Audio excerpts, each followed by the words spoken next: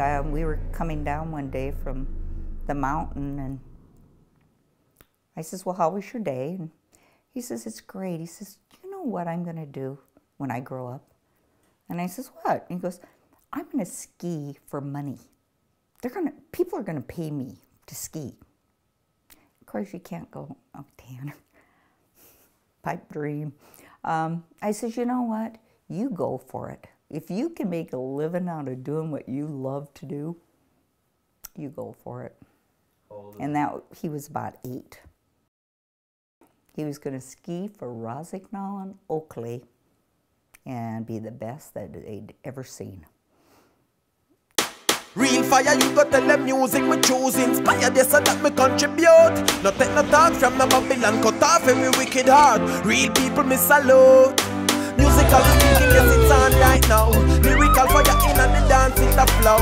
Listen to this, we drop the bomb right now Like a lion, so we go. No time to skylarks in the youth them ready Cause we cannot be no failure. Today me I go make it and no later. And keep hustling, hustling for the paper. Hey. Rastafari, me now, wow, wow. I got my picture taken with Eminem and got away from seriously. Man, love woman, that other nature. And keep hustling, hustling for the paper. Hey. Jah make this strong, this strong none of them can I and I family Inspire music, give them the unity Show the ghetto youth some brand new possibilities Because we are lead Like the jump on the beat And a rock race this, we just push up the speed Four corners of the world, we come and push up the heat Right we say a fire That's them the fucking shit. Today me I make it later And keep hustling, hustling for the paper hey. Rastafari me now, wow, wow. Give we discipline and a good behavior. Man feel love woman, God other nature. And keep hustling, hustling for the paper. I feel hustle for the paper cause me want my own Want my one, me say me want my own. Hard work at the survival and music at me zone So me have to do my best, remember have to do my best. And when me down and stress for me not tired, me no rest. With the higher meditation, everything go set and with the positive vibration. Yeah, yeah, we take it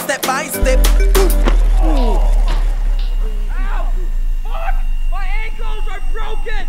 My ankles are broke! His ankles are broken! Broken ankles! Keep it true! I got broken ankles! He's coming, Phil! I got way lucky. I ended up only breaking both my ankles and uh, both my heels. At that point, it was a matter of, first of all, getting swelling under control before we could even consider operating, and from that point, then moving on to reconstructive surgery. Pure shock, insanity. Never felt nothing like that in my body up until that point in life, so it's just madness. With regards to sort of the prognosis and the difficulty putting them back together, these bones, it takes a whole, it's a whole lot harder to make them fail, but when they do fail, it's maybe a little bit more difficult to get them lined up correctly. So, uh, you know, it was really bad, but in all reality, if, if I was just thinking, you know, back to that day, if I would have gone five miles an hour slower and my whole body hit that wall to a dead stop, that could have been lights out, you know. And uh, for a lot of folks, depending on what you're doing for a living, a calcaneus fracture can be a career-ending injury.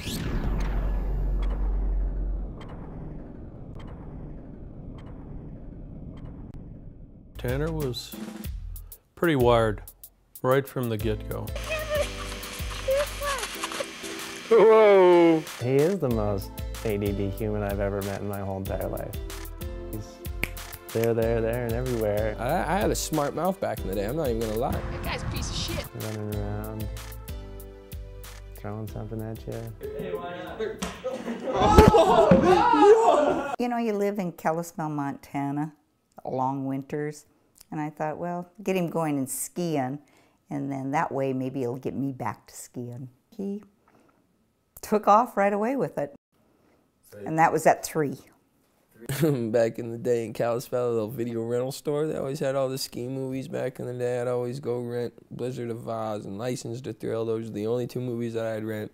That's all I wanted to be. I seen Plake for the first time with Mohawk coming up here and coming out the backside with that big glittery jacket on, tripping.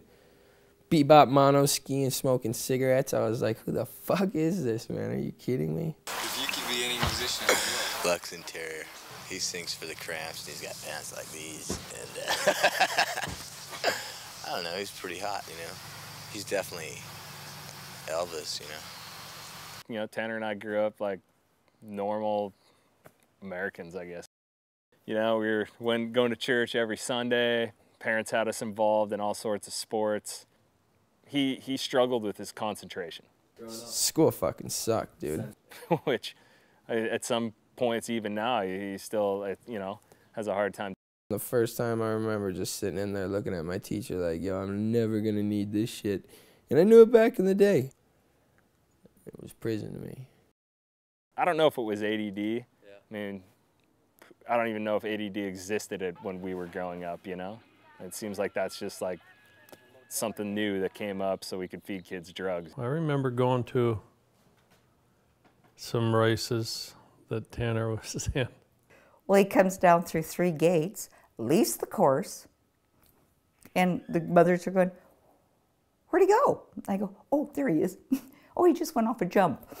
Came back in and finished the course, and of course, the coach said, He's done. But then Steve Knox moved into town and started up the freestyle team. From the beginning, you could tell that he was seriously passionate about skiing. You know, I had a clan of three dudes from Montana that were just insane. The first dude's Donovan Powers, second guy's Tony Gilpin, and third guy's Mickey Price. The Northern Division Freestyle, Montana skiing is totally awesome. It's family. Uh, everybody's trying to help each other out all the time. And people are just pumped to go skiing, you know? This little kid shows up. He's got kind of some new school baggier clothes than you'd usually have. He has a red uh, Elmer Fudd hat. Kind of a little smart-ass kid, real loud. They're, they're not looking for anything else outside of just the feeling skiing brings to them and passing down their knowledge because they've been, you know, coaching little kids for mogul skiing and whatnot for a long time now. His mother drops him off at the ski camp at the Chateau Rouge in a red convertible Mustang. He's 10 years old. Darla says, This is my boy Tanner. Give him anything he wants. Take care of him. I think we taught him how to do a front flip and a back flip in, you know, first week. There's never been a kid show up and just do backflips on this jump. I mean, I don't think anyone did it except for coaches, maybe. Skiing with these, you know, little older dudes that would get all stoked. They called me the mini shred. Natural talent with crazy ADD nature, you know, just like really needed something to focus on all the time. He's really, you know, twitchy. You gonna take the moguls tomorrow? Close up. Just a part of the crew after, you know, a couple, like after a year of just shredding around him. He got exposed to like more freestyle life early than most kids do. Some of the culture was uh, hanging out at the bars. Don't get all camera shy now. Speak. We all felt we were going to teach these kids how to ski. We weren't there to chaperone them. We uh, kind of let them do their own thing after that, and we would definitely turn our heads. Yeah, it's kind of where I started smoking weed. We had a bottle of Jack Daniels that was on the top of the refrigerator or some cupboard up there or something. And we come home from dinner and here's Tanner holding this bottle and he's chugging away on it as fast as he can. Pull that away and we're like, You're crazy. You don't need to be touching that stuff. We're like, You got a big day tomorrow. You're going to be skiing hard. The second day, he, he's like, Oh man, I should have listened to you guys. He's like, That was tough. And you know, he was 10 years old. Anyways, we were at Big Mountain, Montana, and uh, ran into Tanner up there. That's when I first met him. He was probably 11 or 12, I think. Latched onto that guy for the whole weekend. I'm sure he got so sick of me. Remember being on chairlift rides with him and just asking, just digging questions. You know, what was what was it like filming for Snow? What? Oh, dude, License to Thrill was the sickest, dude. Do you still mono ski? Like shit like that. In my mind, I was meeting, you know, Jesus Christ. Somewhere in those years, I remember uh, riding a chairlift and watching somebody ski. I remember watching License to Thrill in the fourth grade, just being like, holy shit, man.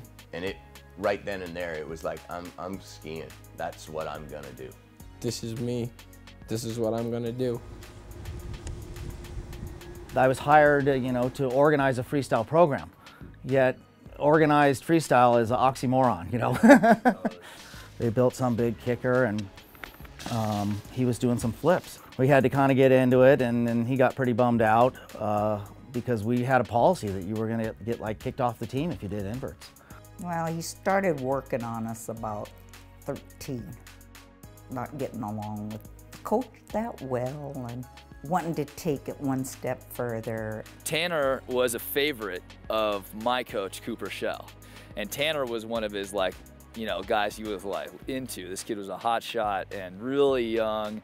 He's very particular about his who he likes and who he doesn't like and his skiers. And I had to convince him to like me at some point to coach me. And it just meant, you know, with Cooper's endorsement, you knew. So I started paying attention to him, right? And I remember him just telling me like, I'm gonna be the next Jonny Moseley. I'm going to the Olympics. I'm gonna go win a gold medal. After that, I don't know, man. My, my dad and my mom just really thought like this uh, mogul skiing, going to the Olympics was, was super possible for me. He had started going down to Park City to do the water ramps. Worked on us all summer. Found out about the winter school and go to school for seven months and then you get five months off in the winter. To a normal kid that has to go to school all year and then only gets three months off in the summer, you're like, wow, that sounds great. You know what? I wanted him to stay home, but then I thought, well, you know, he does have a talent and he's not going to be able to go where he wants to go here. To be a fly on the wall listening to my parents talk that one out, it had to have been a, just a, a nervous decision. Agonizing. Tyson was leaving the next year for college, and if Tanner left, it was empty nest syndrome for us. So after a lot of talk and debating, packed him up and moved him to Park City. Yeah, the first when I first got out here, it was it was paradise to me, man. I was just wanting to ski every day, and that's exactly what I got to do.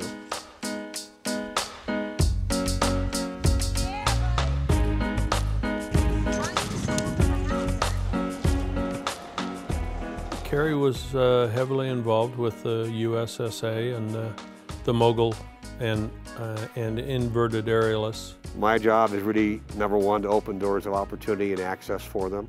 Their job is to keep it open. I delivered him to Carrie Miller's home, which was scary. And she kind of is, is kind of real sketchy about, well, I'm about ready to leave my baby boy here and I don't know much about you. And I said, well, ask any question you want. Starter, Kerry Miller, he just kind of, he's, you know, not gonna lie, dude, you're fucking weirdo, right?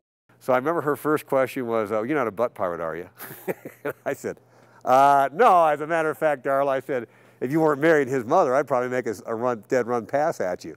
I, I got to give him props, man. Those those those contests that I that I first came down to, he came he, he came at me and my family with open arms and said, if you really want to make your dreams come true, I'll help you out, and you can you know live with me for the first little while until we can find you a host family in Park City. So when I left him, and uh, I cried from Salt Lake City to Kalispell, Montana.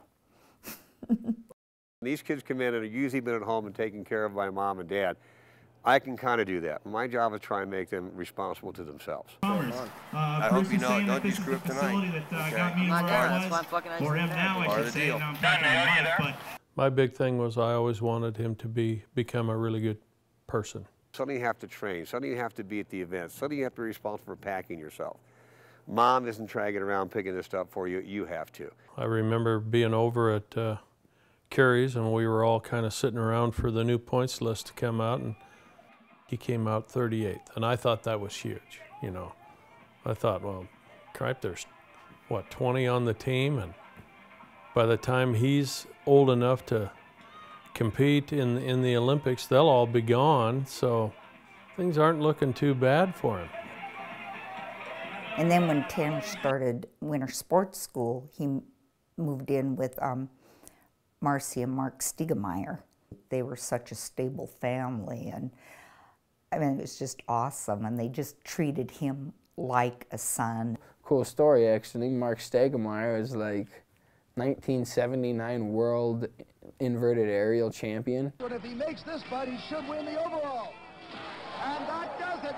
20-year-old Mark Stigemeyer wins the $19,000 Grand Prix Championship. But they were tough on him. I mean, if he screwed up, they were they were on him, and, and we got a pretty good comfort level. It was kind of cool to get guidance from a guy every now and then that kind of is went through what I'm going through now. Tanner. I was sitting there one day and he walks in the door and gives her a big hug and, hi, mom, to her. And I'm going, oh, oh my goodness. And then he turns around and goes, oh my gosh, it's my mom. And, you know, I was heartbroken. And then I'd leave and go to my motel room and it was like, oh, she gets my son. That's my son. this dog don't hunt with me. I we gotta buy a condo or something so I can come down and be mom. Everything was really good for that first year. Right from there is a whole different story. Somehow I convinced my parents to buy a condo and let these guys move in and caretake me at this place. We were pretty nervous about that. Tanner knew we were probably also going to be the coolest Guardians he could probably pick because, you know, we partied already. These guys are a bit crazy. They probably had to have been at least 22, 21, and I was 15. It went along real well at first. They were fabulous. I mean, they really were. Yeah, those guys are retarded. In fairness, Darla was went down there a lot. Yeah. That's how we figured we could control it. And you know, they'd bring the gals over, and I thought, oh my goodness, he's really going to get educated. We had this agreement about rules. Well, there was no rules at the house. No drugs. I'm just moving in. I had a bunch of hits of acid. No, uh, no big parties. And I'll tell you what, man, it was fucking crazy. It was okay to have friends over. I know they were making porno in his fucking basement. Fuck, man. I might have made a few sex tapes in the basement, but they weren't pornos. I, ha I had a crazy girlfriend at the time. You know, kids are kids. Yeah. And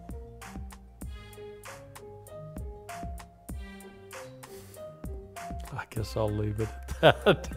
He was still doing some mogul contests, but he was getting into park riding, and yeah, his name was just kind of exploding. I remember my parents saying, your brother's going to uh, compete in the US Open for free skiing. And I was thinking, well, is that a mogul event? And my parents were like, no, it's a, it's a slope style course. And that was news to me at the time. I remember them calling me afterwards, and I think he got fifth. And then after that first US Open, it was over. I can't take no more of this. I got to do what I want to do because I love skiing. But having somebody try to tell you how to do it when you know you're better than them at it, it's kind of retarded. I just remember my dad saying, your, your brother doesn't want to go to school anymore. He doesn't want to he doesn't want to do any moguls. He's done with it. He's told me that all he wants to do is pursue a free skiing career. And my mom was just disgusted. I was like, fuck this, dude. I am done.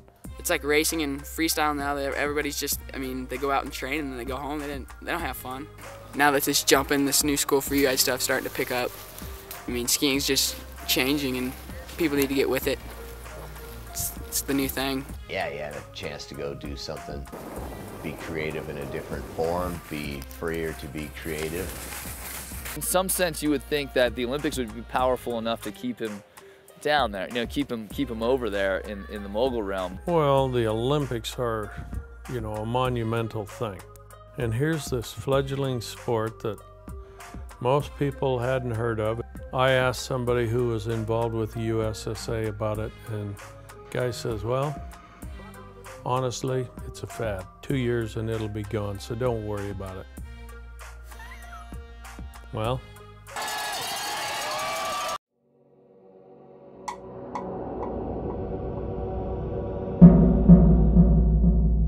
Jim Moran event, he won that event, and that was a slope style event. Oh my God, 180, iron cross, 540, Tanner Hall, approaching the same jump. Watch this. You know, first win ever in slope style, which is pretty ridiculous when you're beating all the dudes that kick your ass in moguls, but then you just beat them all on jumps and rails. My bad, the legendary Tanner Hall is Yeah, Tanner! Just a few aspects, you know. And by that time, we all were in favor and understood that we were going to lose Tanner to free skiing. He got these sponsors that wanted him to come to photo shoots and do this and that. Every ski shop you walked into, it was Plake everywhere, all over the ski walls, and I was like, that's, you know, kind of my hero right there, so he wears Oakley, I gotta wear Oakley. That summer, we uh, offered Tanner a two-year contract. Well, when I signed with Rossignol at Oakley, my, pretty much my life dream came true. He just fit Oakley, you know, he was rebellious and getting into trouble. I wanted to become a, a filmmaker, a free ski, and he wanted to become a free skier. So I was like, hey, let, be in my movie. You know, I was I just bought a camera and quit school. You're going to school in the summer. So he started missing classes. From there, we went out to um, Lake Tahoe to film. Drove out there, smoked a bunch of cron, skied for like a big, you know, had a fucking sick week of skiing out there. And then right when we come back to school, first day back to school, there's a random drug test. I get pulled out, right? Tripping. Wasn't stoked. Knew I was gonna fail. Got called out of class. Said I was suspended for five days. Pretty much this 15 year old kid introduced me to weed. Like, I didn't smoke weed before. I played baseball. Sorry, bro. That that sucks, man. What do you got to say? He's getting hot, dude. Yeah, he is. This shit, we've been here for a fucking hour. We lived for every day, and every day was an opportunity because every day something new was created. Tanner's like, I don't want to go back to school. I'm like, I don't want to go back to Hollywood video. We were just straight up like, this is the shit. Why would we do anything else? Eventually, he pulls up in front of the school one day, gets out of the car and lights up a doobie and out come the teacher and he was gone. Are you kidding me? Really? Walked into the principal's office, picked up my, you know, picked up my backpack and basically threw the peace sign to him and gave him a big smile and thanked him for putting me on the biggest vacation of my life. You know, for parents, it was a nightmare. We saw all of his dreams going up in smoke, but, you know, by then he already had new dreams. You know, kind of let us down on his part of the deal and that he'd have to be done. I mean, that's all there is to it. Made a whole new set of rules for him. Figuring out life, trying to figure out what the hell I'm gonna do and how, you know, we're gonna make all life come back together for me because at that point it kind of seemed like everything crumbled to the ground. We ended up not having a very good end to the conversation, hanging up on each other, and we didn't talk for six months. I can't move back to Kalispell and start going to Flathead High School again. And I says, I'm sorry, but you had your chance. We didn't want to lose him as a as a child, as, as our son, but we couldn't couldn't let him go off and, and just destroy his life either. My dad as well, when he was young, went through some shit with alcohol. It's kind of funny, man. He was gonna, he was, my dad was one of the best bowlers around when he was a younger kid. Could have gone on the pro bowling tour and could have did a lot of good things, but got himself into a bunch of trouble and, you know, he paid the price.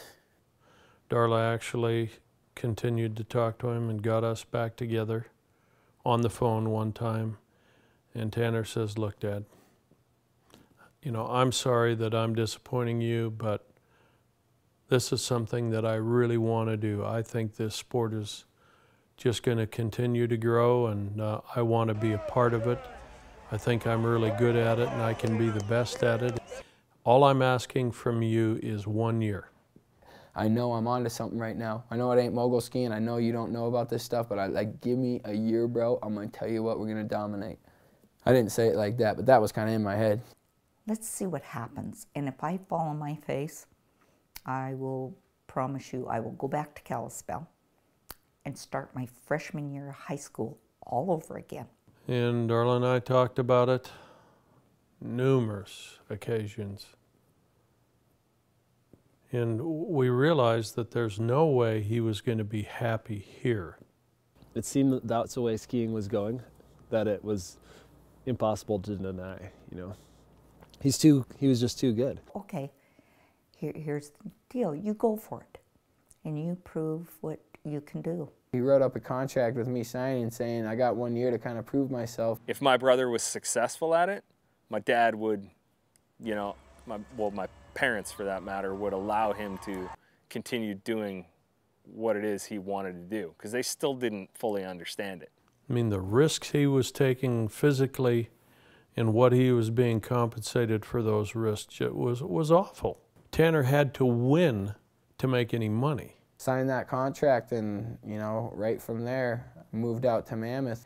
And, you know, I kind of moved out to Mammoth with a suitcase and got dropped off at Motel 6. And at that point, I just wanted to take those tricks that I learned and just apply them to the, the season after and just see what would happen. Because I knew not too many people were doing them. Did you feel pressure, or were you just kind of skiing for fun? Um, I felt pressure at the X qualifier because I really wanted to go to the X Games. Go up there, lay it down, end up winning that, got my X Games spot. Dad was super stoked, call him up, like, all right, let's just keep it going. Go to the Red Bull Hug Fest, end up winning that the weekend right after. He's just like, holy shit, and I tell him, I was like, yo, I just picked up Red Bull as a sponsor. He's like, whoa, okay, holy shit, huh? So I go to the US Open two weeks later, get third in slopestyle and end up winning the big air. $6,000, the king of the big air here at the U.S. Free Skiing Open. Give it up for Tanner Jerry and I are going, hmm, maybe this kid's onto something. Doing some of the first cab sevens, you know, and it was like the the new trick, you know, at the time. And you know, I was just so impressed, you know, because everything he was doing was he was doing it with style, you know, and you could see that he was really it was really easy for him. In my head, it was all raps back in the day. It was pretty much on top, you know, podium in almost every contest. Some of the best segments out there. He just had, for some reason, I just thought, hey, like how he, how he, his swagger and just everything, how he promoted himself. Everybody's throwing down, so it's like you can't even hold back. You know, you just got to go for it every time. Kind of linked up with him and CR. Yeah, Tanner and I met when we were 14 years old in Mammoth, and we took the chair up and hit it off right away. To ski together had so much fun and hit it off so well, we became pretty much best friends after that. See buds. Cool. T-Dog.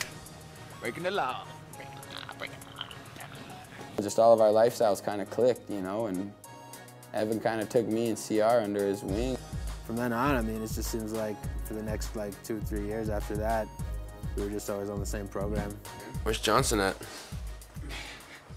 Dude, the earlier we leave, just the easier it's gonna be. That's what I think about it, Johnson. So then it was came the X Games. Course is clear. Judges are ready. Tanner, Mighty Mouse, over 120 pounds, not getting enough speed, trying to get pushed, and he wants to do his biggest trick, but he's not getting the speed that he needs. So here comes the third final jump. Switch Rodeo 720 tail grab, extra style points for that one. Skied over to me and he goes, Don't get too excited, but I might win this. Let's hear it for our Big Air champ, Mr. Tanner Hall. That was you that was still the best X Games ever because me, CR, and Evan were all living together, and we all took one, two, and three. So I just remember watching him on TV win that thing, and like that to that point might have been one of the happiest moments of my life. I was so stoked for my brother. It wasn't even a conversation on the phone. It was my mom just screaming and going crazy. She was so stoked, and and my dad was super proud, and it was a very cool experience to have as a family. You know, it turned our world upside down. The fact that my brother had chosen a path, set a goal, not only did he achieve it, but he just shattered it. It was really fucking cool.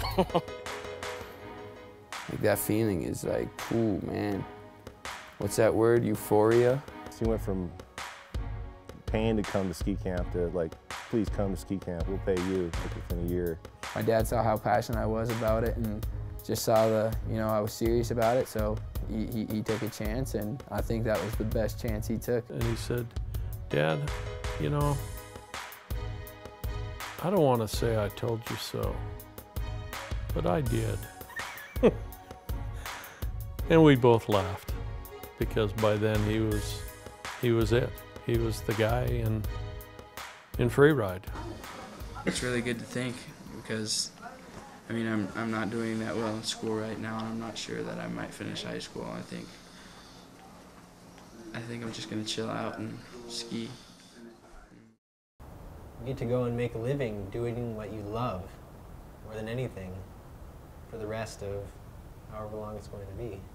I was thrilled for him, but at the same time, you know, I, I still think he needs his high school education, and it's a big deal to uh, mom and I. Just because you're earning a, a certain amount of monetary uh, compensation doesn't mean that you don't need school. I'm never going to quit trying to make it happen. As long as I'm here, he's going to have to hear those questions and deal with it. if in fact traveling the world as a pro skier is going to give you the education or experiences that you will learn from, then so be it. There was so much going on at Rossi that didn't involve free skiing. And when Armada came around, you know, I, that was the perfect thing. That was going to be 100% focused on free skiing and, you know, a rider-driven company, and it sounded awesome. We approached him and asked him if he wanted to be part of it. Yeah, man, I want to be on a team with all these guys. It sounded righteous. You know, we're a startup, so we don't have that much money. We can offer you some ownership. We can, we can give you probably our highest salary out of our whole team, you know, but it's still the smallest salary compared to any other superstar. And it was important to him to move the sport forward. I just thought in my head, if we got Armada going and we killed it for the first, you know, the first couple of years, especially over worldwide TV with X Games and whatnot, having our skis plastered over there every year, there's no telling what could happen. He went up to Rosno when his contract was up and he said, hey, give me what you give Bode Miller. I'll stay. And I think he knew the answer before he asked, and I think his dad knew the answer before they asked, and he was on Armada and screaming and carrying the colors. He sacrificed a ton of money. But it, that was never the most important thing for him. The sport was. 03, 04, 05, um,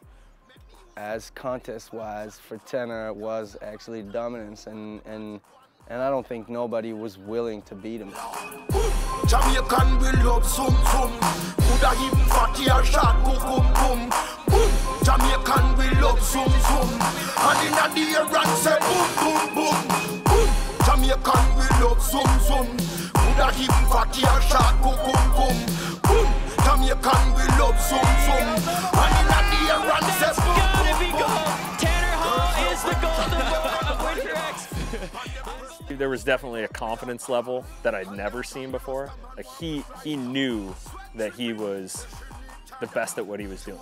Everybody was like yapping and whispering about stuff like, yo, what do you think T's gonna do? Basically, Tanner's so good because in his little world, reality and video games are the exact same thing. And when he's skiing, he's in the video game, man. His competition mind is amazing. And he is so in a zone of his own. Like I had a robotic machine in my brain working from outer space. He works so much harder than anybody's ever given him credit for. And that's a story that probably needs to get out, the fact that how hard he does work. You know, he's so competitive. Like, there's just no alternative to being the best. Skiing became a full-on addiction for him. Boy, let me tell you, because I'm talking with emotion, because this is my life right here, man. I love this stuff. To press tranny your first run into a pipe, to get to the flat bottom, to go up for your first hit, I'll tell you what, it's better than sex, bro. One of the biggest events was uh, Core Games in Japan. You know, at that point, I didn't really have any sponsors, and I'd seen Tanner win, you know, multiple big checks over the last years. And then, you know, obviously going into finals, I was like, there's no way I'm going to win this. So I was really trying to convince Tanner, like, you want to split the prize money? And so they're like, yeah, whatever, we'll just do that. And I actually end up winning the contest, and it was like 20, 30 grand. I mean, at that time, it was the biggest prize purse in skiing. So I get this, you know, stack of cash, huge. I mean, for me, I didn't have any money at that point. And then I just like had to give away a big stack of cash to Tanner that I knew had already made a shit ton of money. And after that, I never split it a single prize purse. Just a bunch of people changed so much and started to bring in something negative to the industry, you know, like where it wasn't fun anymore. It was about paper chase, you know. Thanks to all my sponsors, Demon Star, Oakley, Osiris Sport. Contracts, sponsors, contests, people, medias, and, and all that goes and, and makes this whole package of this new scene Well, listen to a lot of hip hop back then and a lot of dancehall and stuff, and everybody has to claim some crew, you know? So we're like, dude, let's make the C crew. It was T, um, me, CR Pep, and right around the block we had all these snowboarder kids, the Provo brothers, uh, Tommy Leontelas, Zach Siebert, and, and all these kids, and that was the C crew back. That was like the big time C crew then. That was like, boom, that's there. So we were like the, the hated kids, you know, like the weed smoker ones that would listen to gangster music. Whether you want to be or not, you are going to be a mentor. You are going to be a role model. Tanner's not a mentor. He's a skier. You want to be a skier? Follow him closely. Use him as a mentor.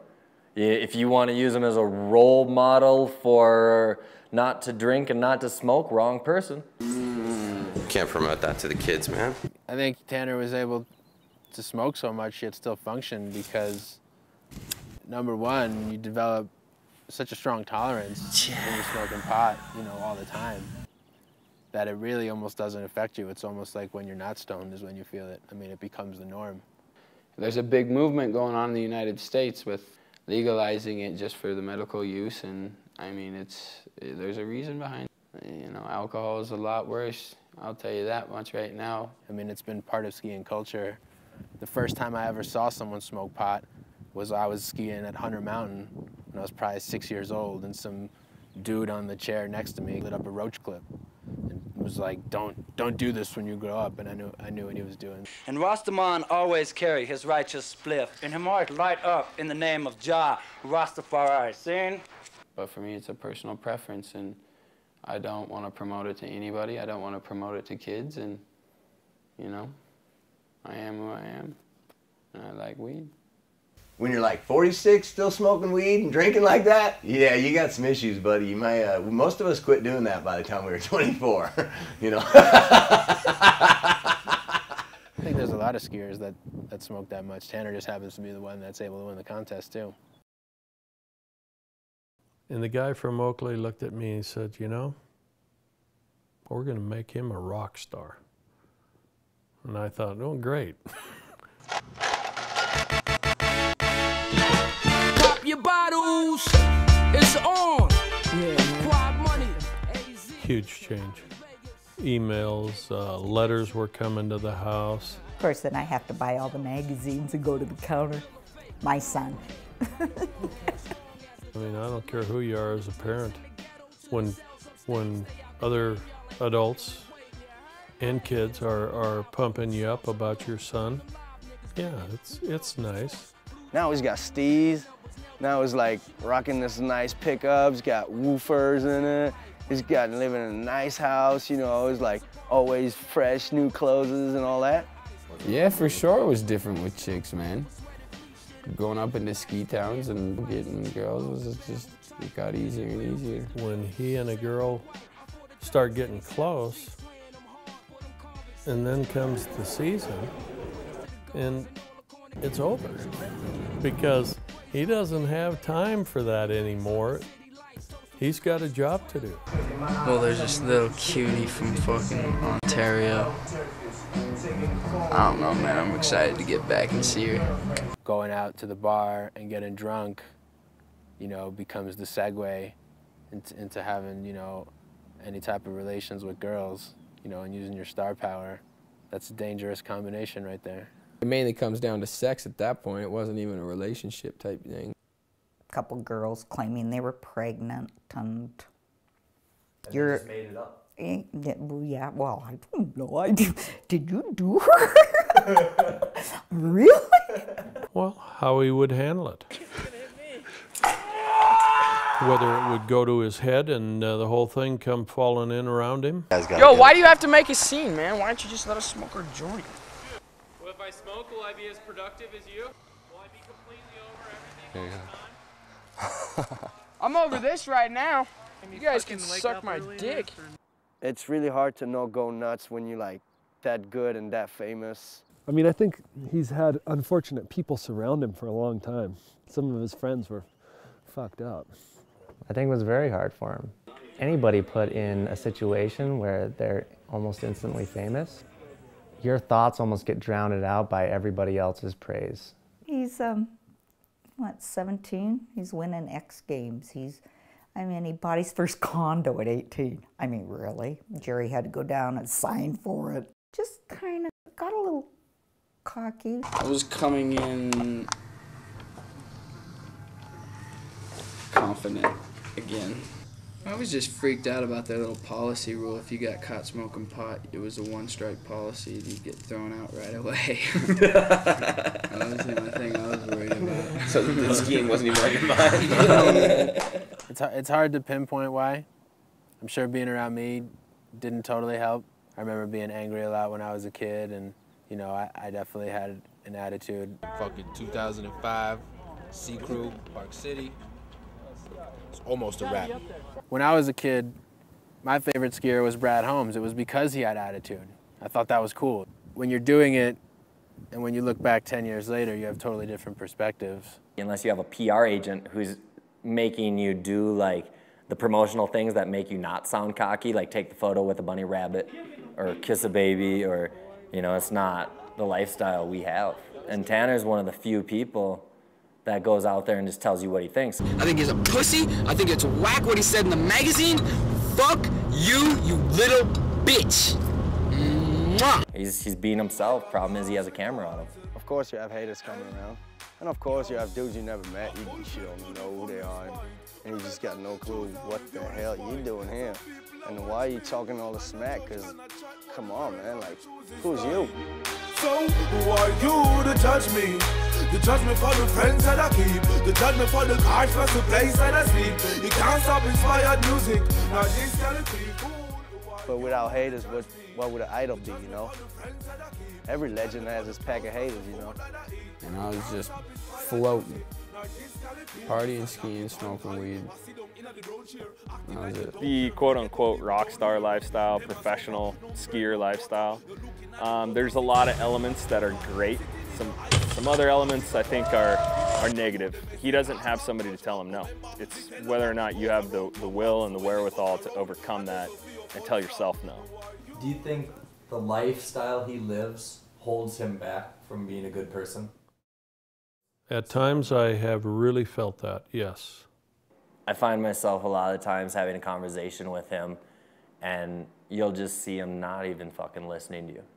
When, when people are talking to me and I, and I zone out, because it happens a lot, you know, it happens a lot, man. You know, he, he brings up something, and, and you're bringing up your point then, and all of a sudden, where the fuck's Tanner?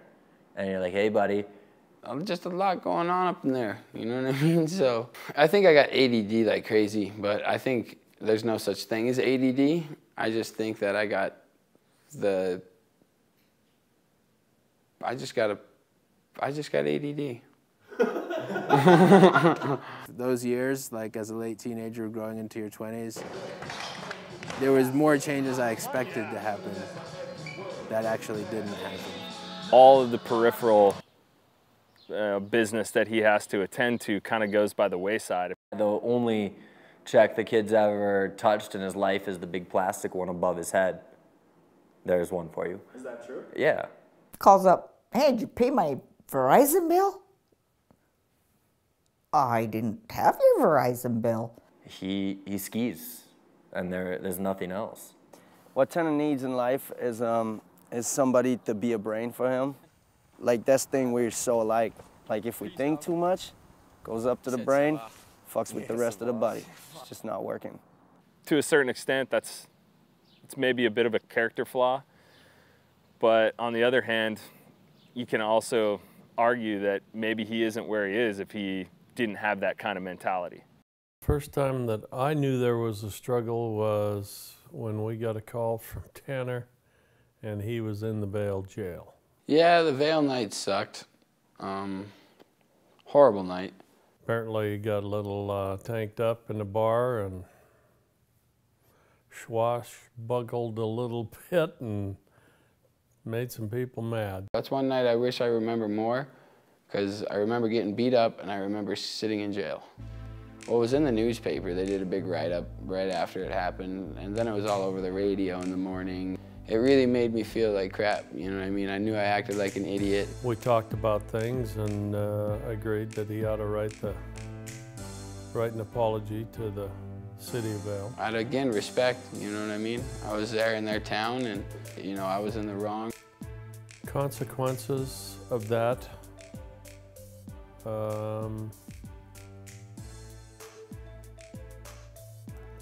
well, I'd like to think that he uh, learned a bunch from it. And I'm sure he learned some, but I don't know that uh, he learned everything he needed to learn from that experience. It really made me just never want to drink again, but I, I kept drinking afterwards. But then there's that spirit in it. Okay, I'm gonna sit here in jail. Okay, now am I gonna just feel sorry for myself that I screwed up? What am I gonna do with myself? I'm gonna pack myself up to the pipe tomorrow and I'm gonna win it. Tanner heads up there one more time, a very familiar spot. I think when he does screw up or did screw up or still screws up, he finds a way to fix it. I guess anyone that calls Tanner selfish, I mean, all they have to do is look at Armada. You know, what he did for the sport to leave all that money, that time, whether it was the big salary he gave up or the salary he did make and in invested in movies. The energy that he puts uh, towards his movie, for example, uh, it's huge. Like uh, to be an athlete and to uh, to be able to provide uh, five movies during your career, it's uh, it's incredible. But every time a movie comes out, it changes the sport. And it's just crazy to see the level of the movies and the level of competition just rise. I speak the right lyrics on the right beat. Roll with the chrome 45 under my feet. Motherfucker, don't you ever get caught on my street. I put you in the ground, you leave under my feet. You see, I got a good mother, she has a good son. I had some good girls, we have some good fun. I hustle hard, so my niggas making big funds. We drive some big cars and carry big guns. My neck is feeling the strain because the pain hurts. Words could even explain what my chains were. I'm from the gutter, I suffer, motherfucker. And Chad's Gap, what he was doing that day was, you know, really cutting edge, really gnarly. Even still, I mean, I don't know who wants to hit that thing switch. That was like a really high point in my career right there, a highlight, you know. Uh, ended up being, you know, like the best and the worst day of my life.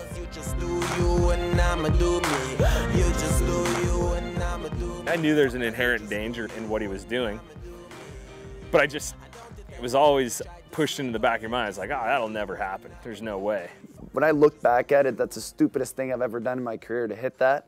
You know, I felt like I was going fast. When you're going that fast, when you're going like hitting the 50 mile an hour range backwards, it's hard to tell. I got up to the jump and then, you know, kind of felt something was wrong right off the takeoff. Right at about 720, coming around, I could see the, the landing and I was just, you know, about a foot short. You know, it was terrible to stand up there and he- hear that sound and you know, that really changed my career because I, I mean that my head was not the same after that. It took me almost a year to kind of get my confidence back because it was just, it was just so gnarly. Stay there, Tanner. Don't move, buddy. I gotta get that one out of my boot. And there he was sort of splinted provisionally just to keep things stable. that one. You're pretty good. The outside aspect of his ankle, uh, it was pretty blown up in there. On the side that needed the operation, we approached from the outside side, we called the lateral side. Uh, sort of opened things up, pushed the, put, pulled the tendons to the side. Uh, we're able to directly see the pieces of the talus and the calcaneus that were displaced. Uh, we put them back together where they needed to be and then held them with plates and screws. He was hurting. I felt terrible. I couldn't be there. Yeah, they said, well, here's the thing, you know, we don't know if you'll ever ski again. You might not ever walk again. The hardest thing initially for him was my career's over. I thought it was going to be a really seriously detrimental blow to his career and to himself mentally. If Tanner couldn't ski, I don't. I think Tanner would have. Uh, he'd have to find a very creative outlet to channel his energy. I don't know what he would do. I remember walking in there and there was Tanner just air casts on his feet and a, and a morphine drip in his leg. My brother just holds it down. He's basically there for anything I need at any time. The doctor seemed to think that the morphine drip was gonna last for the next day. And we're looking at this thing like, no way. Took him back up the hill to, to his house and then the fireworks began. And about four in the morning, I have never heard a man scream like him. Tyson! Ah! Because that morphine drip ran out and he couldn't get to his pills, which was my fault because I forgot to leave him by his bed. It was almost scary, man. Like he just didn't want any part of it. And I had to just sit there and, and try and do everything I could to make him comfortable, and he couldn't do it.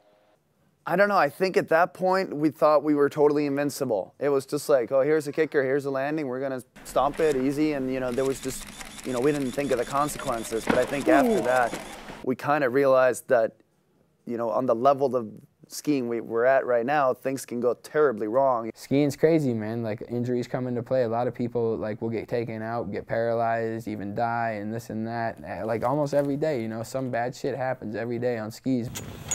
Dude, that kid splatters brains all over the fucking earth. He's dead. What? He died. I know he did. Crazy. He did die? Yeah. No way. Yep. How'd you hear that? Jimbo. What? Jimbo. No way. Yeah, this is recording. The guy died. Yeah. No. He did. He Jimbo. I talked to Jimbo because we've been communicating on the cell phones.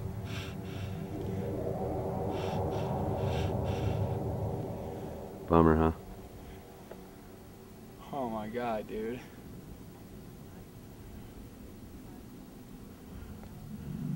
Oh my god, dude. I think that's why the heli took so long to get out. They knew there wasn't a rush, you know? Wow. Alright, is it gotten slower? Not too many people can say that you know, they're so passionate about something in life that they'll wake up and risk their life daily to almost die for. It's always in the back of your mind, but that's where it is and that's where it needs to stay. Reason why Tanner and all these skiers take the risk they do is, is because they love it, and that's it. You only know what I mean if you really love something. It's like why you would die for your wife, and that's the only thing that's relatable probably to someone who doesn't ski. Death can come in many different ways and how I look at it, if you're if you die on the mountain, you know, if it's your time to go, you, to me you kind of been blessed in a way, you know. The last doctor visit we had, he was able to put pressure on one leg.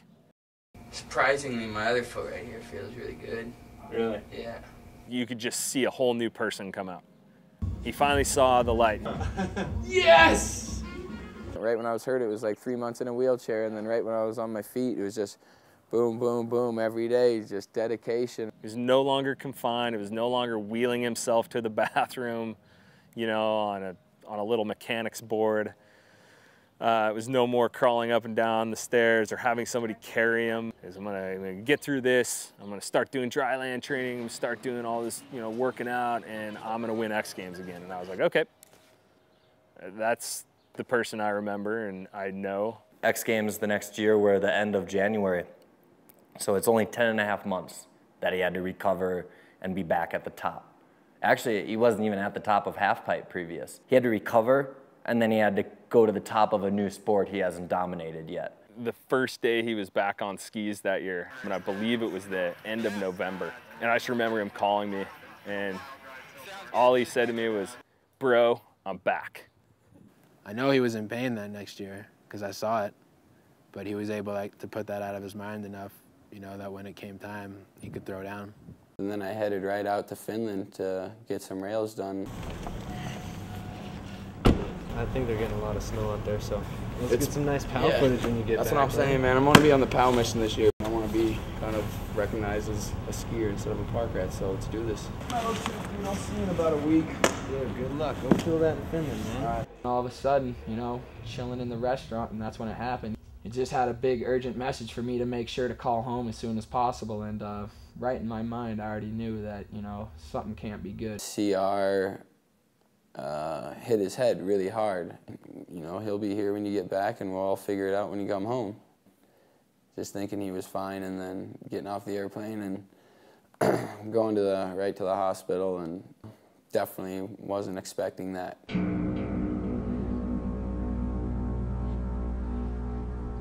That's when it all hit me like a pile of bricks in the face, you know, to see your best friend laid up on a hospital bed. He had a pressure gauge drilled into his skull. He had tubes going in and out of his lungs through the side. They drilled like a hole through his ribs.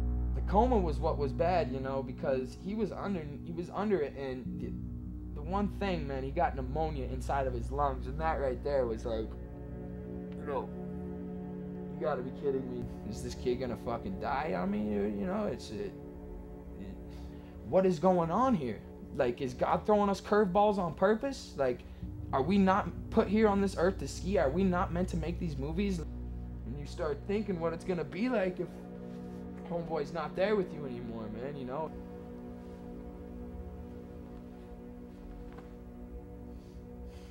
Every day I was in Utah, you know, I was there for a while, and I, s- you know, we'd, I'd go there to his bedside and hang out every single day that I could. And I'm glad I did, man, because I remember the first day the motherfucker opened his eyes. Looked up, looked at him, was like, yo, see CR!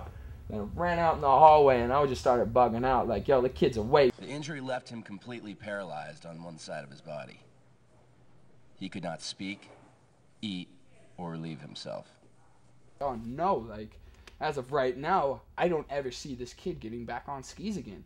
And what's really crazy about the whole story is, man, it, it, it didn't take him t- that much time whatsoever.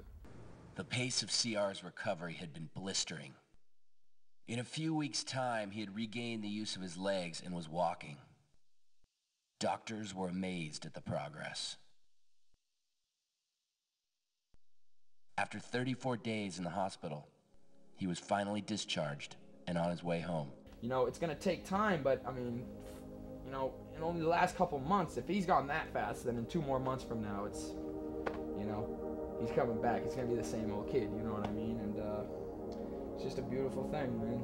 I've been skiing my whole life and been a sponsored skier since I was 15. I wouldn't necessarily say I've ever taken it for granted, but I've almost lost sight of that. And then had a major reminder of how lucky I really am. And I've been working as hard as possible to keep this as my life.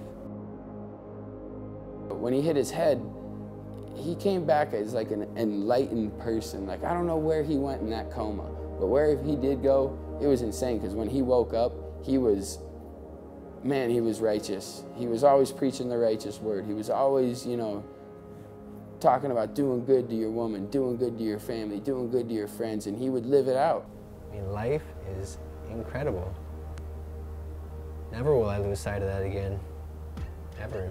And to be standing right here where we are today, I mean, CR skiing. He's he's back. I mean, he's his head's more and more getting stronger every day.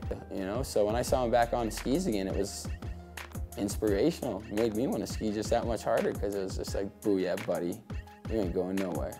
This life I'm living, what I do every day, I mean, it's unreal. It's every single day I ski, every single day I'm out in the mountains with my friends. I love so much. It's like the richest day, the fullest day. It's every day, man, is an absolute blessing to be doing what I'm doing, and never would I take it for granted. No, I, I, I did know, notice a, a little bit of a change in him in that uh, he wasn't, uh, you know, the, the I'm the guy, I'm the man guy. He was uh, a little more reserved.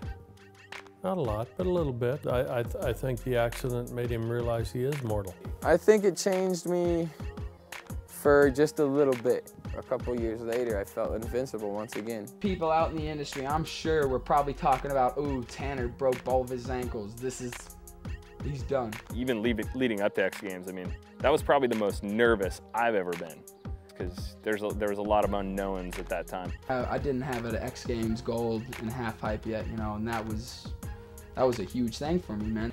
Every day, you know, he'll shred the mountain in the morning, then go to the half pipe and just hike it, hike it, hike it, hike it. He has so much energy and puts so much energy into training. You know, you, you get to the X Games. I mean, he gets a a high just hearing the crowd. And after that training day, boy, I knew. I knew just from that I had the feelings. I mean, me and Iberg were talking quite a bit the night before, and it was like, he was like, this is yours for the taking, bro. It's just depending on what you want to do with it. It's not a question like what he's going to go and try and do. It's about what he's about to go and do. Because CR had to go home for more therapy right before the pipe event. But he told me, "For you better make damn sure I'm gonna be watching that on TV, and you know what to do." This is your night. This is where you're most comfortable. This is where you shine. Do what you've always done. Tanner Hall. These guys train, they ride together. They're rock stars in this community. Here goes Tanner Hall. Qualified first in the qualifying. I drop in, and I had so all this energy, like, ah, yeah, come on, ah. Just dropped in, first hit, felt it. Second hit, felt it. Third hit, I'm like, okay, this nine is gonna be the biggest one I've ever done. I'm looking at my landing, and I'm like, uh-oh. Kind of over the deck a little bit, came down, boom, just decked out. Harder than I've decked since I broke my ankles, and the one thing that went through my head is, all right, ankles are good, but why do I always fucking deck at a time like this? It's unbelievable. Second run, drop in, first hit. He's gonna get some amplitude and some trickery right now for you folks. Huge 540. Second hit, third hit. Nobody wants to win this event as badly as Tanner Hall does. He's an absolute perfectionist. Fourth hit, fifth hit. And we're seeing him match the transitions with huge amplitude all the way down this pipe. He wants this so, so bad. There's the 1080 from Hall. Looked around, took the deepest breath in, and just put my arms up in the air. I think Dumont might be taking another run, Uncle Lee. he took the words right out of my mouth. Well, the enigmatic, ever-present Tanner Hall. Is it going to be a battle like we had last year between Simon and Tanner? Yes, it Oh, is. yeah. yes, it is.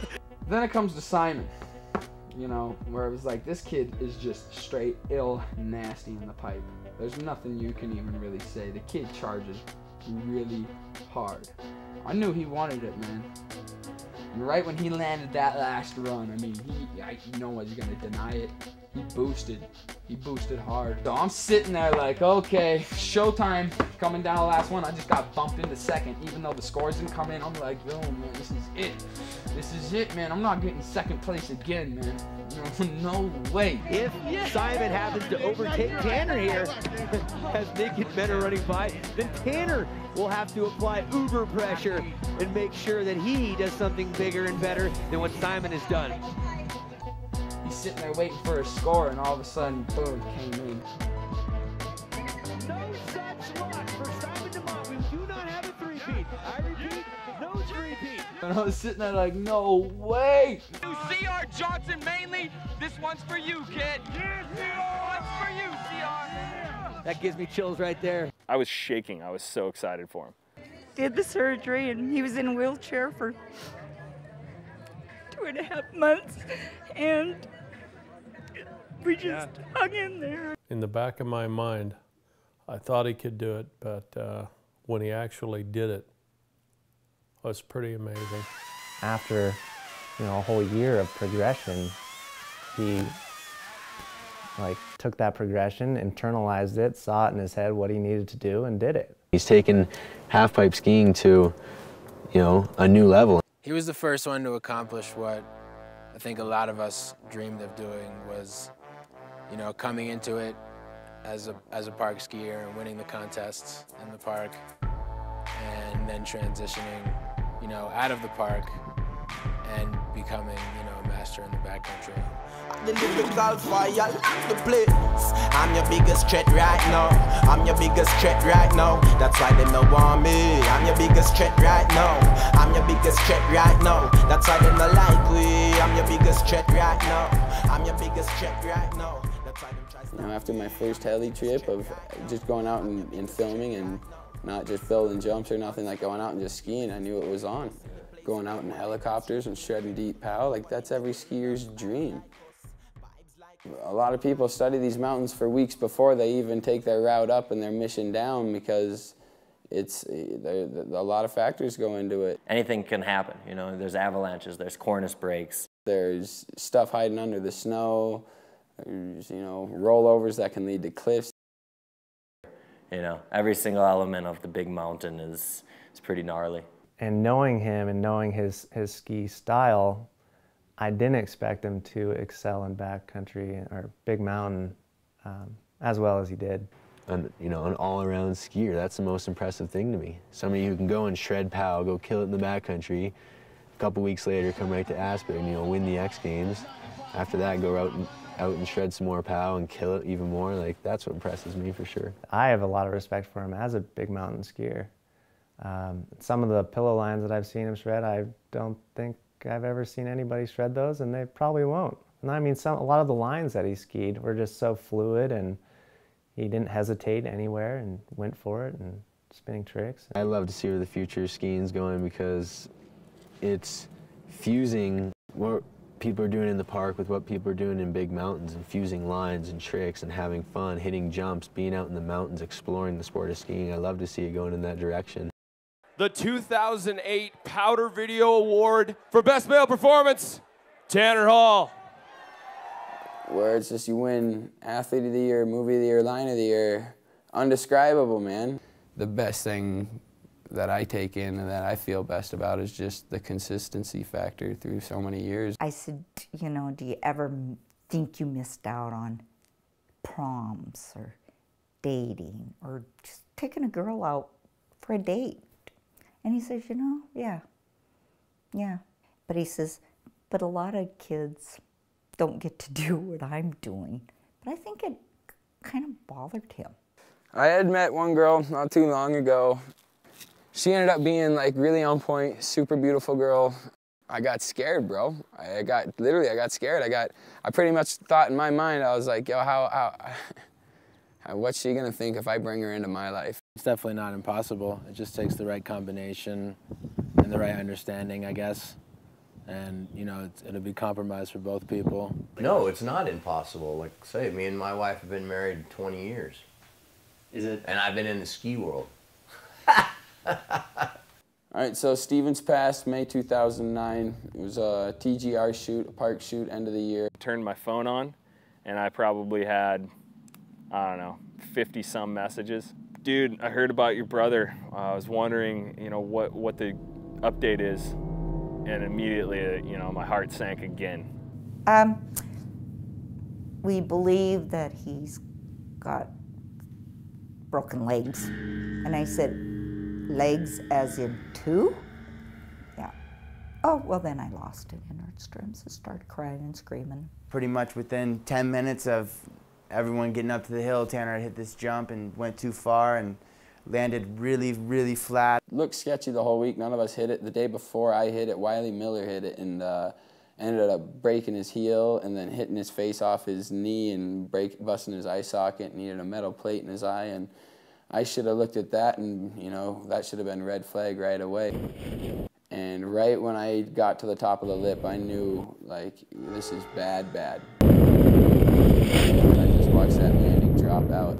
And when I hit the ground, it was the most painful, the scariest, the, uh, it just, uh, everything exploded in my knees, you know. I thought my ankles were bad, but this was on a scale 10 times worse. I thought I was paralyzed, man, because I was not moving. I couldn't even feel like the bottom half of my legs. Like it was just numb. People were touching them and I couldn't feel it. What was going through my head right when I crashed was my career was over. Like I kept repeating that over and over again. The world kind of came to an end in my head that day.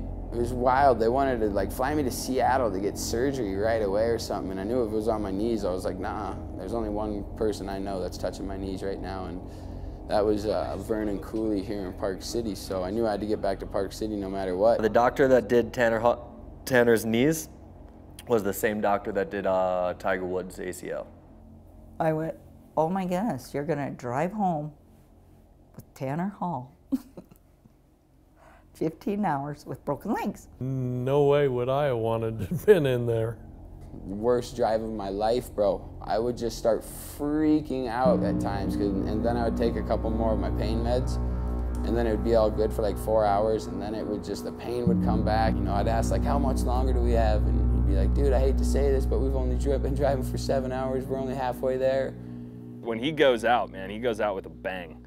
And uh, he obviously operates in twos. He'd call every couple hours.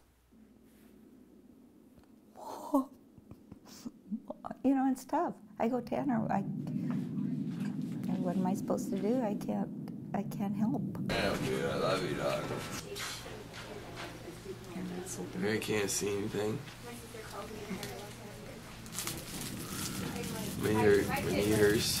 Standing up and going to, you know, going to the bathroom, take a piss, You know, like that.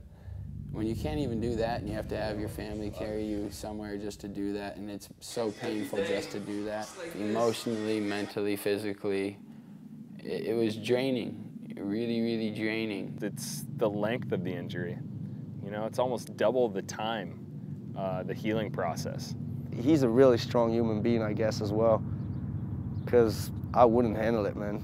I'd probably, I'd probably end up a psych ward going nuts, man. I just abolished my peaky yesterday. Crazy. That's how nervous I've been. There were so many dark times where I just didn't see the end. I, I couldn't see light at the end of the tunnel, you know what I mean? And it was so easy to just get, you know, negative and be just a pain in the ass. You know, it's tough realizing who you really are in life and how much you really don't matter in this life compared to how you thought you did. Uh, this time I, I really feared for him. You know, I- knowing what a microfracture can do if it's not taken care of properly. I've seen a, a lot of people that haven't come back from one broken leg, and he has two of them right now. I've seen many people that haven't come back from one blown knee, and he has two now. I think if you ask me, I think the knee injury probably did end Evan Raps' career. It's like lonely and depressing. And then you just want to get back. And then when setback after setback, it's just, you know, for me, it made me rethink my whole life. As you get older, and like I am now, man, it's my mind's working different. When you were younger, you'd hit a kicker and all you could think about was to beat the other guy. And now it's like, should I really do this trick? Because I might like catch an edge and really hurt myself. You know, you look at guys like Michael Jordan. You know, the guy won so much. It had to have been a massive disappointment to not get to that peak again. I think the hardest part is the end. Coming to terms with it and then moving on and having to choose something to move on to. No, I don't think I could be happy without skiing, man. I don't. Yeah, I don't, man. I need that in my life to escape. There's got to be some balance in life too, though. You know, I mean, that's for for a long time. I wanted. That's how I thought I was going to be. If I couldn't ski, I was gonna. What was I going to do? The problem is that you're you've been really really good at something, among the best in the world, and then you're gonna have to do something else that you're probably gonna suck at it, and not be in the best of the world.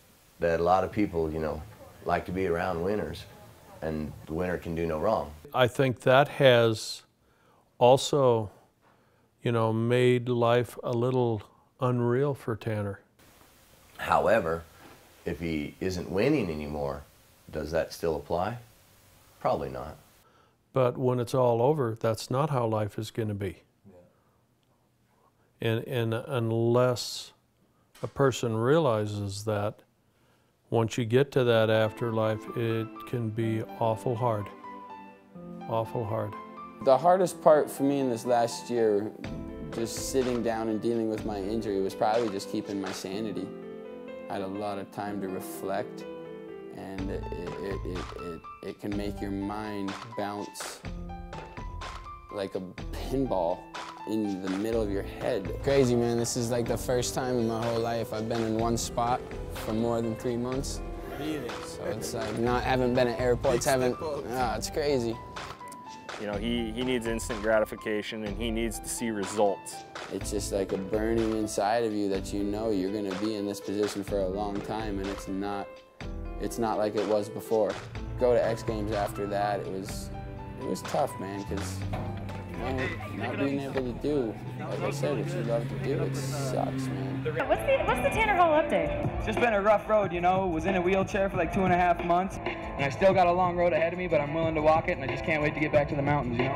How are your knees doing? Getting there. Getting there? Yeah. How far away are you? Still a while. Get me back on my skis uh, as soon as possible, because without it, man, there's there's an emptiness in me, and I think a lot of people can see it that I'm just not the same person I used to be.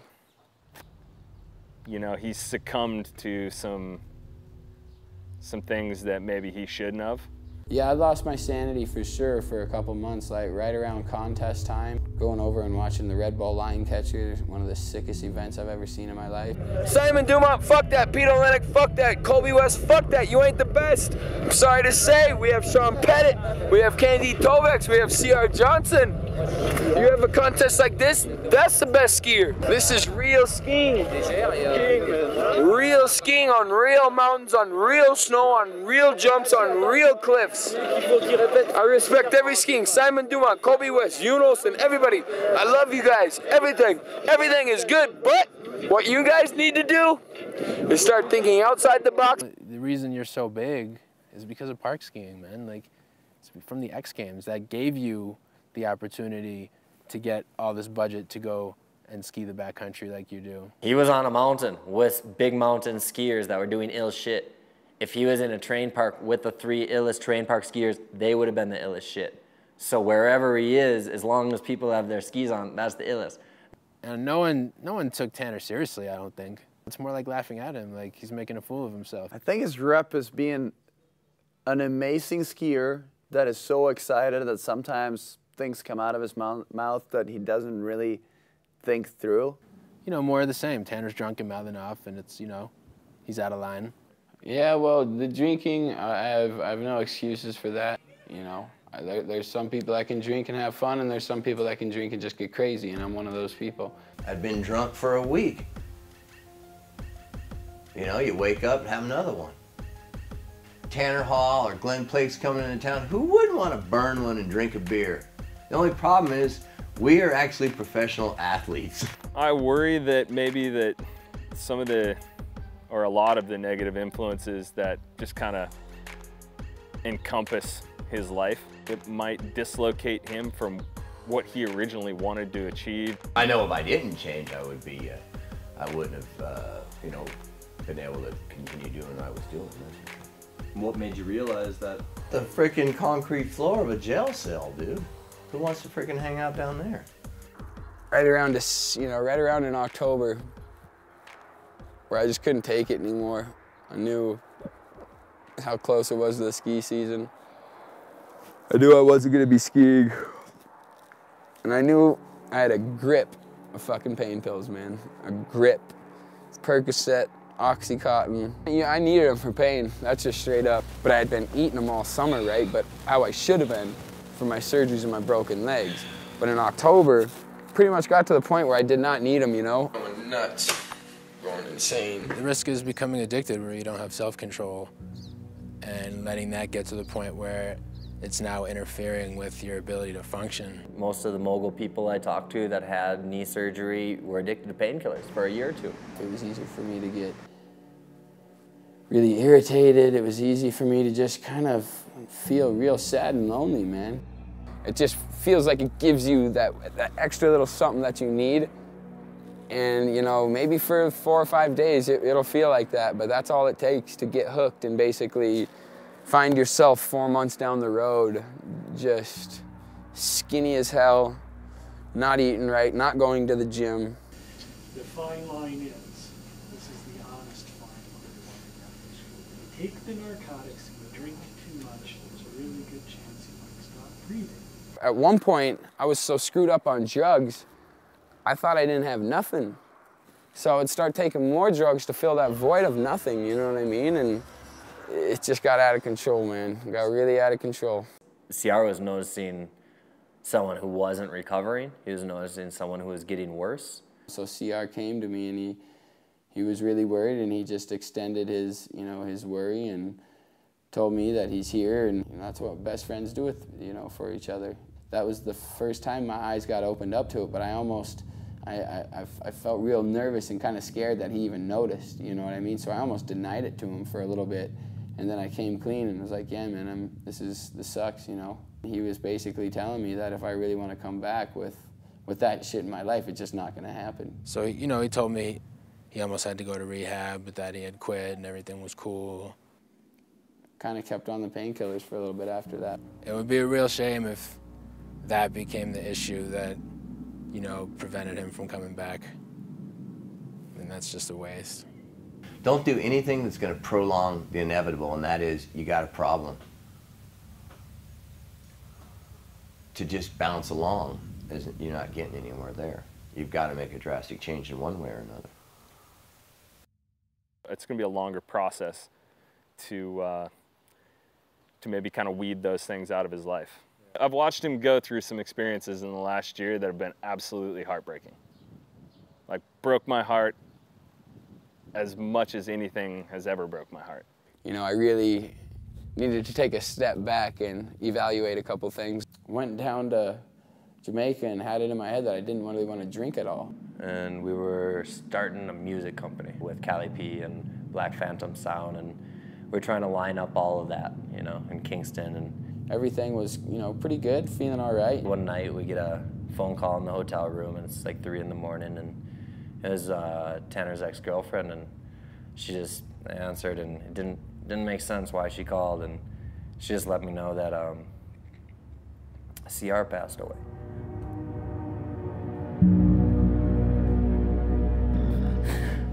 C.R. Johnson died after he fell over some cliffs that are known as the Light Towers.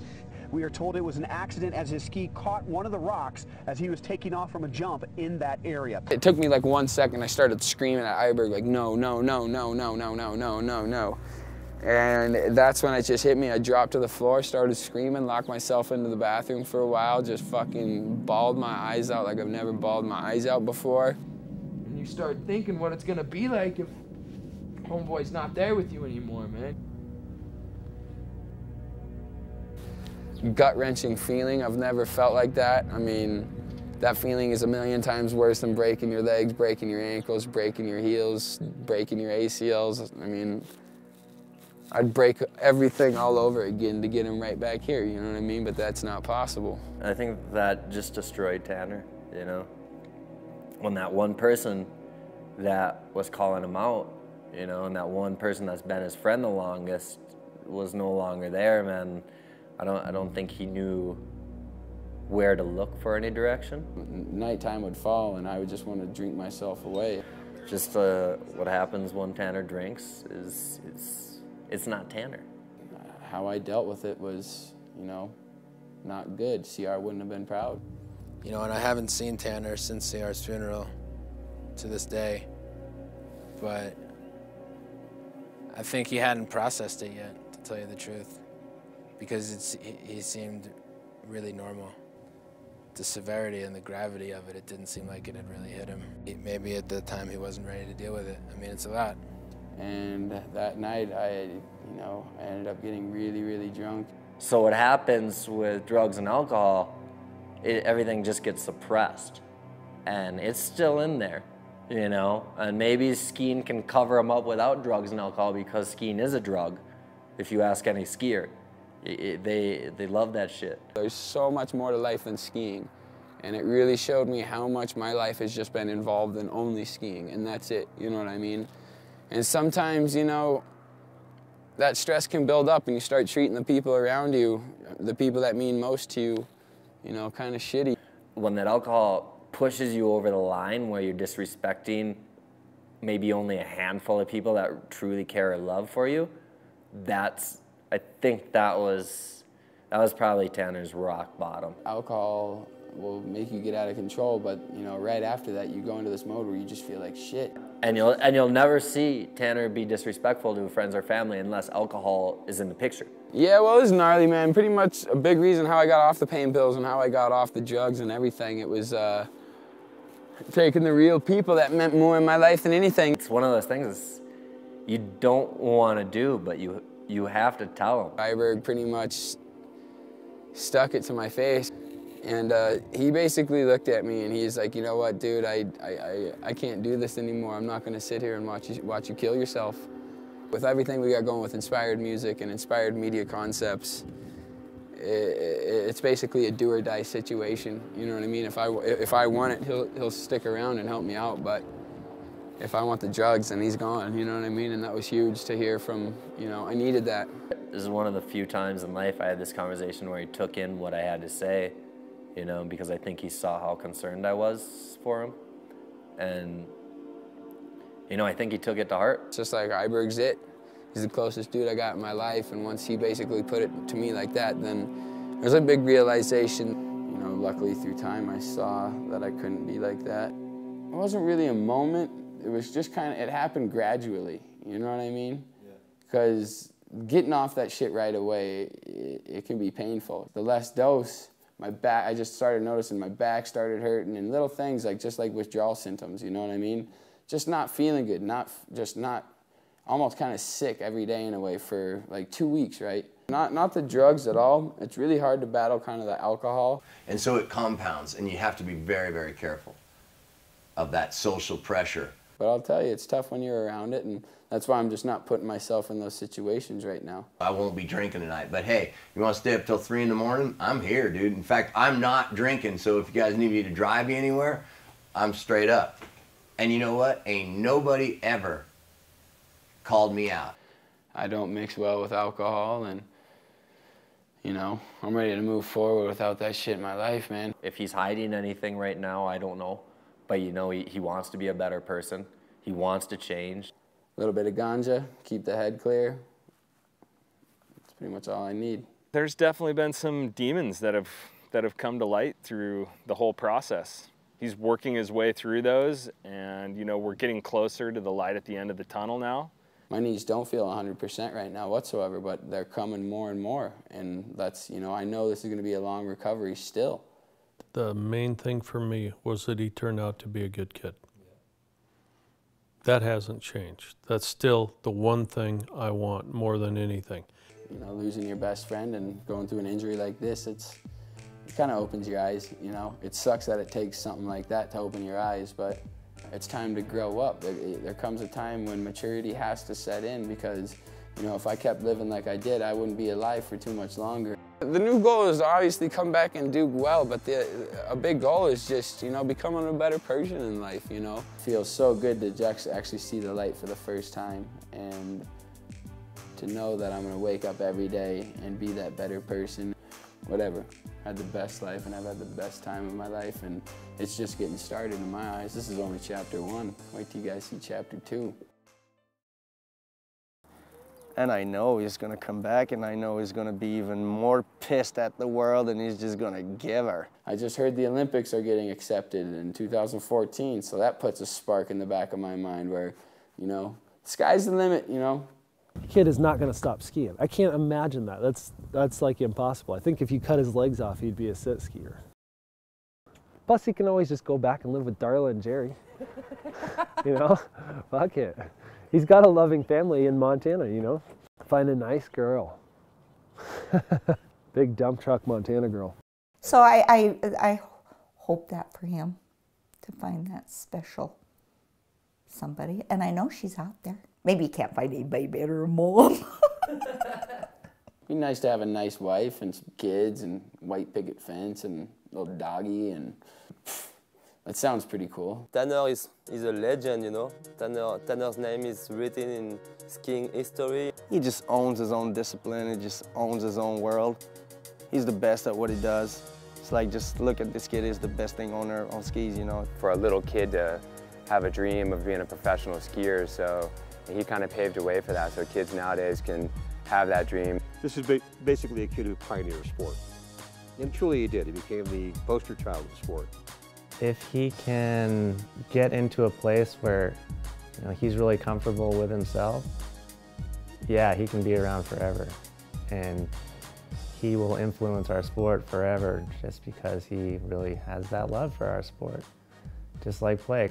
He's got opportunities right now to, uh, to be a skier for many, many, many years, to be a, uh, an icon in the sport. I think he's got a long way to go. I think there's a ton of te ski technique that he does not necessarily um, know yet. His life in one aspect is certainly even, hasn't even begun, but at the same time you look back at what he's accomplished and it's quite amazing. And he'll probably ski till he's 85 and he'll probably always be super competitive and not like it that the young kids are doing tricks that he can't do, that's the sport. That's the way it goes. I think the further down the road we go, the better Tanner we see. And I really believe that. My family inspires me. My friends inspires me. My brother just got married. That inspired the shit out of me, man. C.R. Johnson inspires me. You know what I'm saying? That's big right there. Johnson inspires me just because that was, he was the most righteous human being in this world that's my best friend. He's gonna, no matter where he is, he's looking out for me, and I feel like he stands with me every single solitary day, somewhere, somehow. And to have that on your side, that's have my guardian angel. It's pretty sick. You know? Not too many people can say I have their, their best friend is their guardian angel, so righteous. Even if you're gone, even if you're gone, you will always live on. Always live on. Champion. Even if you're gone, you will always live on. Live on. Hey, hey, You're a real born champion. Hey. We can see your eyes every morning, high above the mountain top. Thinking about you, make we more time happy and sometimes sad because we miss you.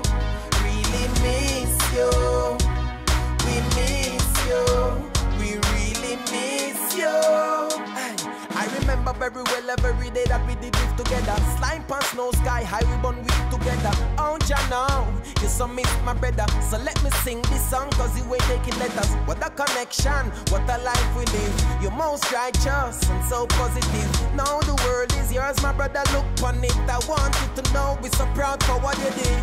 Cause we can see your eyes every morning, high over the mountain top. Thinking about you. Make we more time happy and sometimes sad because we miss you. Really miss you. We miss you. We really miss you.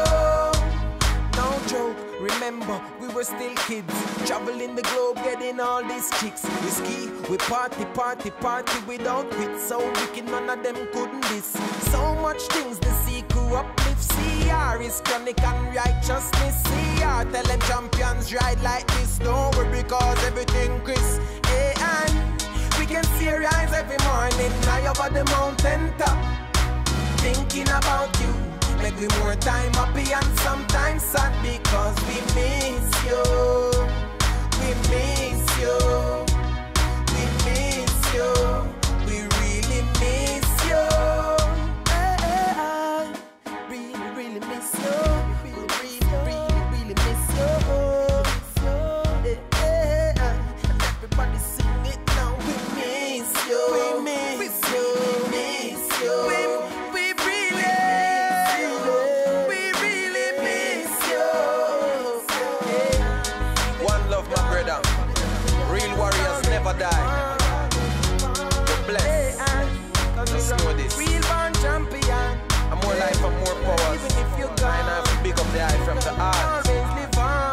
Inspired to the the. More love, my brother. We can see your eyes every morning, high over the mountain top. Thinking about you, make we more time happy and sometimes sad because we miss you. Really miss you.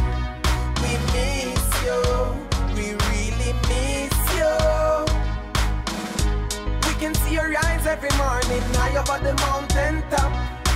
Thinking about you Make we more time happy and sometimes sad Because we miss you. Really miss you. We miss you. We really miss you. We can see your eyes every morning. High up at the mountain top.